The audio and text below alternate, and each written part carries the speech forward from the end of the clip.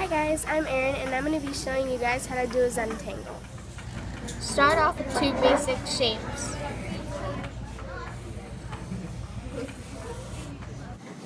You can make it as crazy as you want. Now add the designs.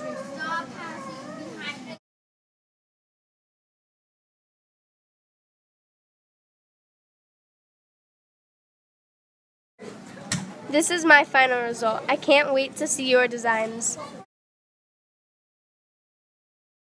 Bye! Hey guys, this was the first Teachable Thursday. Remember to subscribe. Bye!